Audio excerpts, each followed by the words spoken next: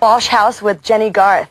Hi, Jenny. Hi. Um, the first question that your fans would like to ask you is how different is Kelly from Jenny? um, well, originally when we started three years ago, Kelly and Jenny were like worlds apart. But I think that as the um, show has progressed and I've gotten more comfortable with Kelly, I think a lot more of Jenny has sort of seeped over into the character. I'm just very comfortable with the character at this point, maybe a little too comfortable sometimes. Now, I understand that you have an exercise video out in the stores now. How did you prepare for that, and how difficult is it to make an exercise video?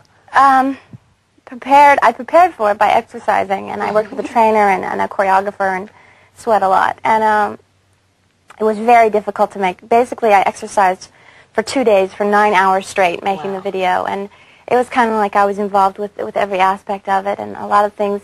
Um, looking back now, I learned a lot um, on production and how to do it, and, and things I would probably do differently now.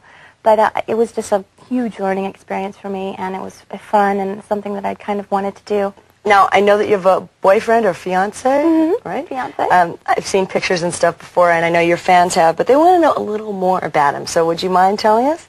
His name is Dan, and he is a um, very talented and gifted musician. Um, he's out of town right now. no, he's on the road, and I miss him.